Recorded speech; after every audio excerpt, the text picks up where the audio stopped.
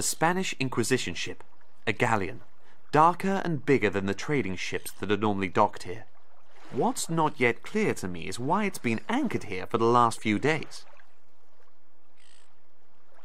A fishing boat in rather poor condition.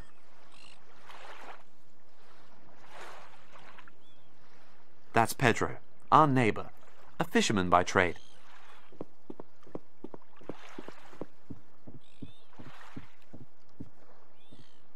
Hello. Hola. This Inquisition ship, so why is it berthed here?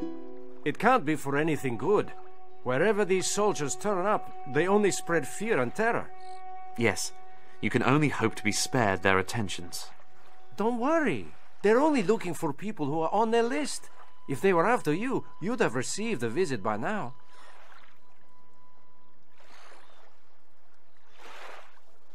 Any luck?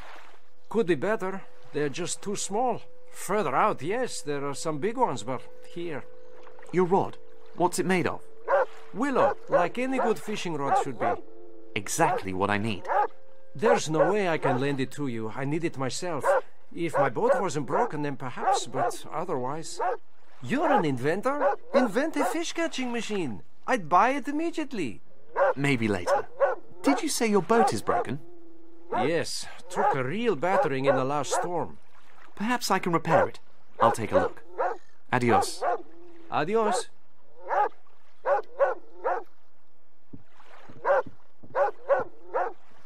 Is that the plank for the boat? Yes, but I haven't found the right mixture for waterproofing it.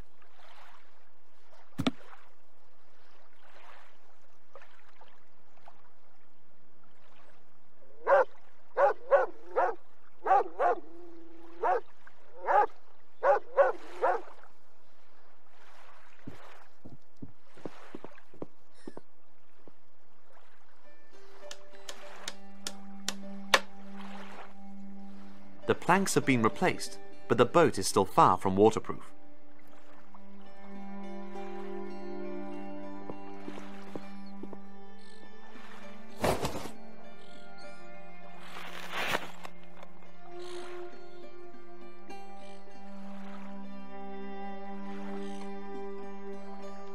I'll cut a few holes in the end of the hose.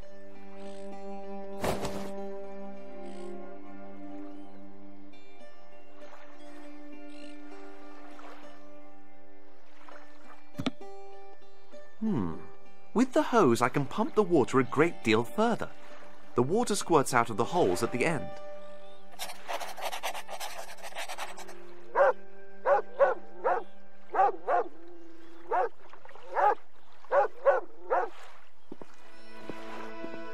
Those will be the fibers that seal the boat together with the tar. I guess they're flax fibers.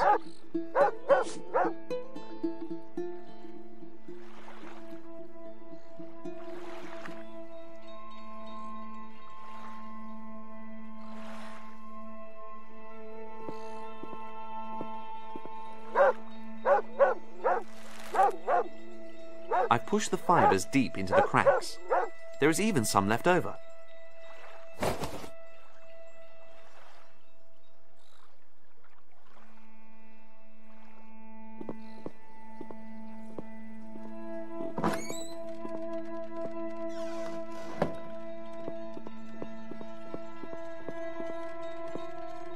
Ramon, may I interrupt you for a moment? What is it, Feodor? Here, that's the artifact that Tabit brought for you. Fantastic! Show me! Thank you. So, what is it actually? A piece of crystal. It belongs to something that's made up of lots of fragments like it. Well then, best of luck with your investigations. I could do with the tar now. Yes, yes, take it. Thanks. Don't you still need it for the mask? I'm going to do that later. I have to get on with this piece of crystal right now. Of course, the crystal fragment. I'll be off then. Mmm.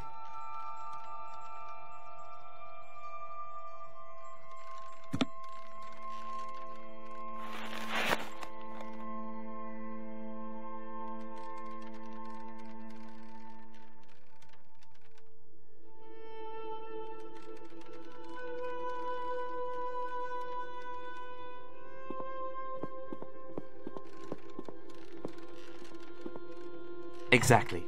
Right in the middle of the embers, and soon the heat will be increased a little bit.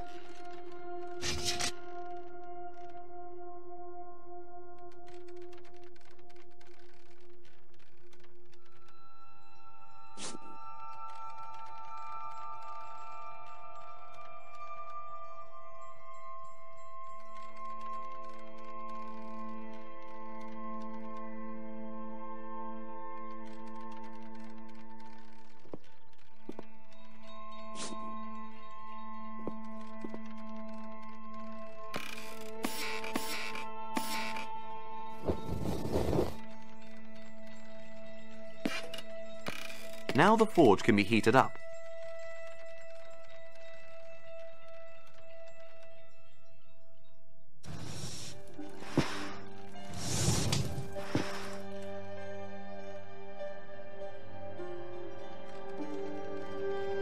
The forge is hot enough.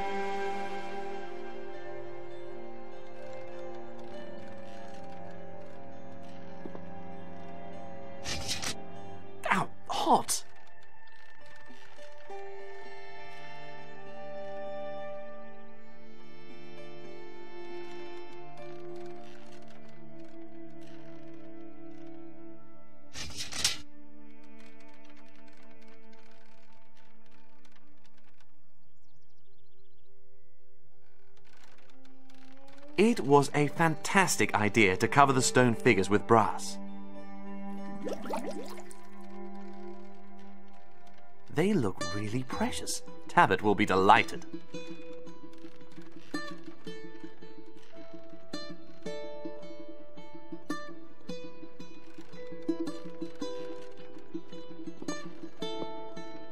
I'll take the hose with me.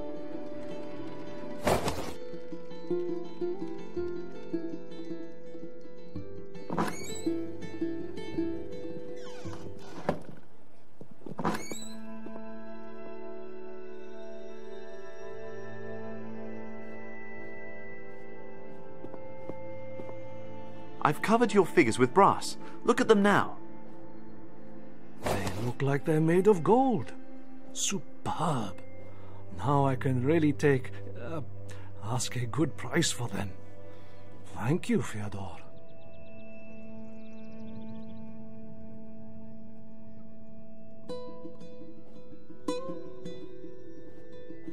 See you later. Yes. Till then, my boy.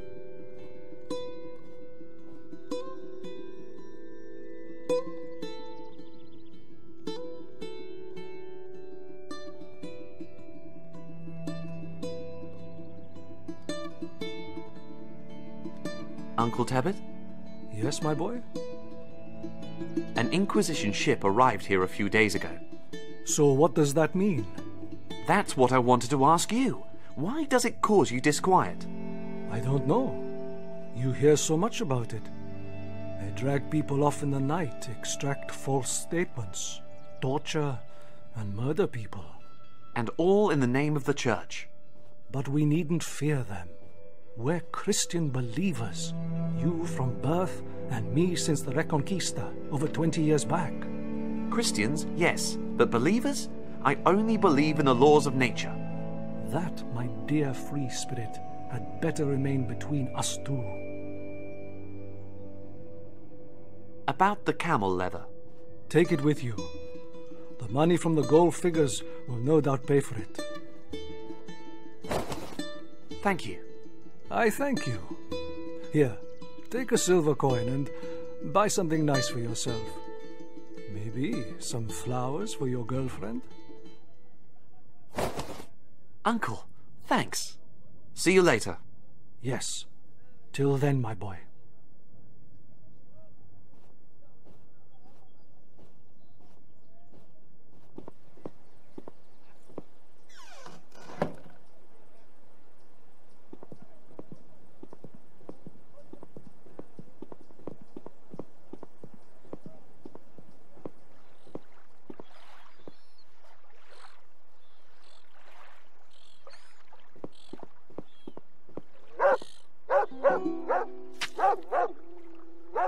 The tar and the fibers seal the planks perfectly.